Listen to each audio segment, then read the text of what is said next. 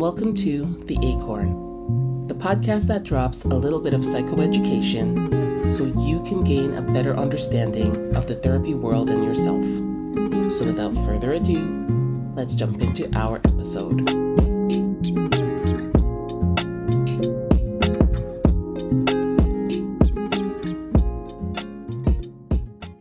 Hi, and welcome to Season 1, Episode 13 of The Acorn. Today we're going to be talking about what is internal family systems. Well, internal family systems, or IFS, is a therapeutic modality developed by Dr. Richard Schwartz.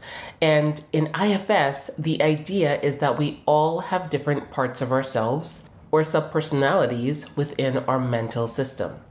I want you to think about it a little bit like this. If a friend said to you, Hey, where do you want to go out to eat on Friday? You may respond and say, Well, part of me wants to go out for sushi, but I don't know, part of me feels like trying out that new taco place downtown. That's kind of like what it feels like. And this is language that we're used to. So I want you to think about this modality kind of like a non pathologizing approach to therapy. And it asserts that there are no bad parts, only parts forced into bad roles. So in IFS, we have parts which comprise of our exiles, managers, and firefighters. And we also have the self. I want to take a little bit of time to go through what each of those different parts are like. So our exiles, they hold a lot of our little t and our big T trauma, and they're often young parts of our system who carry the burden of our adverse experiences. In order for our nervous system to not feel overwhelmed, these parts were locked away.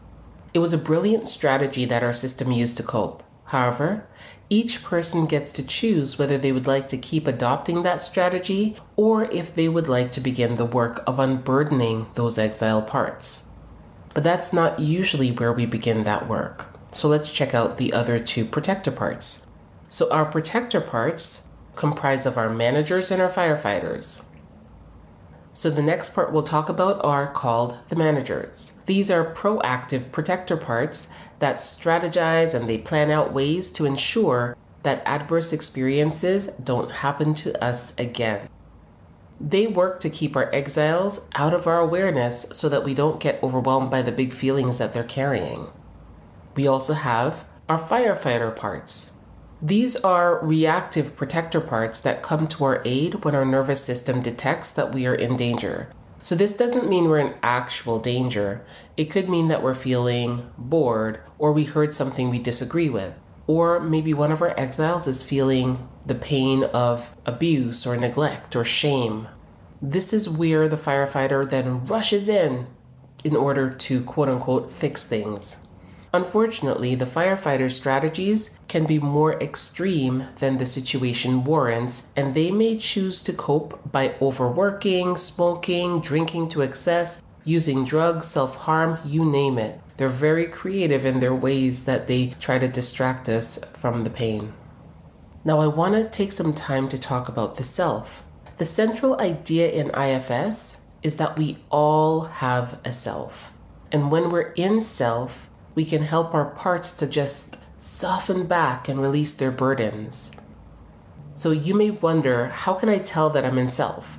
Well, you can tell that you're in self energy if you're exhibiting any of these traits, right? They're called the eight C's. So if you're feeling a sense of curiosity, if you're feeling calm, if you're feeling a sense of clarity, connectedness, confidence, courage, creativity, and compassion.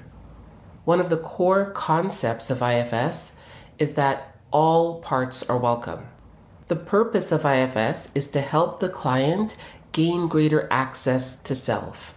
From there, the client can begin to listen to their parts and begin to build self compassion and self trust, which can then lead to unburdening some of their parts and to deeper and deeper inner healing.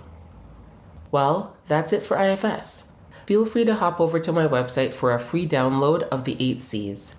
Now, as we close out this episode, remember to take a moment in your day to remind yourself to pause, breathe, hope, and heal. Take care. Well, this has been another episode of The Acorn. Remember, the content in these podcast episodes are for educational, informational, and entertainment purposes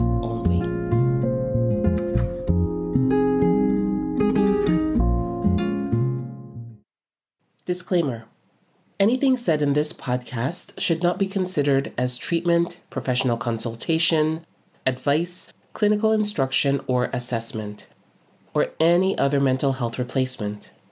Listening to this podcast does not create a therapist client relationship between you and the podcast host.